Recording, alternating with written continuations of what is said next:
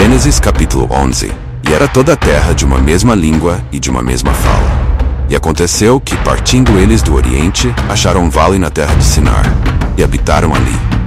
E disseram uns aos outros: Eia, façamos tijolos e queimemo-los bem. E foi-lhes o tijolo por pedra e o betume por cal. E disseram: Eia, edifiquemos nós uma cidade e uma torre cujo cume toque nos céus. E façamo-nos um nome, para que não sejamos espalhados sobre a face de toda a terra. Então desceu o Senhor para ver a cidade e a torre que os filhos dos homens edificavam. E o Senhor disse: Eis que o povo é um, e todos têm uma mesma língua. E isto é o que começam a fazer. E agora não haverá restrição para tudo o que eles intentarem fazer. Eia, peçamos e confundamos ali a sua língua, para que não entenda um a língua do outro.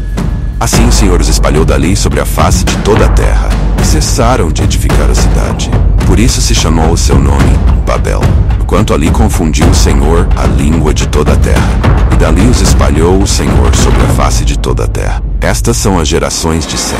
Sem era da idade de cem anos e gerou a Arfaxade, dois anos depois do dilúvio.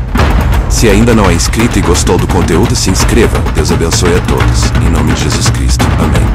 E gerou a Arfaxade, dois anos depois do dilúvio. Se ainda não é inscrito e gostou do conteúdo, se inscreva. Deus abençoe a todos. Em nome de Jesus Cristo.